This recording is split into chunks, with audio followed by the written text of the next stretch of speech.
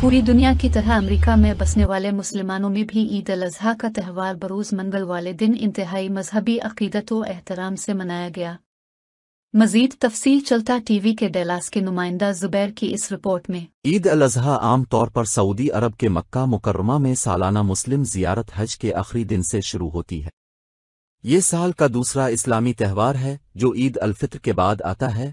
عید الاضحیٰ کو قربانی کا تہوار بھی کہا جاتا ہے۔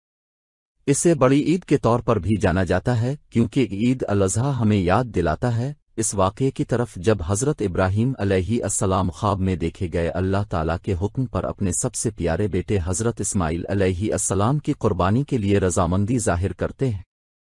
اور مسلمان اس واقعے کی یاد میں جانوروں کی قربانی کرتے ہیں۔ امریکہ کی تمام ریاستوں میں عید الاضحیٰ بہت جوش و جذبے سے منائی گئی۔ امریکہ کی ایک بہت بڑی ریاست ٹیکساس میں مسلمانوں کی بہت بڑی تعداد نے بھی اس تہوار کو منایا اور جانوروں کی قربانی دی۔ اس سلسلے میں ریاست ٹیکساس کے شہر ڈیلاس میں مساجد نے لوگوں کی رونقیں رہیں۔ بڑے بڑے اجتماعات مکہ مسجد گارلینڈ، مدینہ مسجد کے رولتن برکات القرآن Irving Islamic association of North Texas Richardson Islamic association of Collin county, city of پلنوں میں دیکھنے میں آئے۔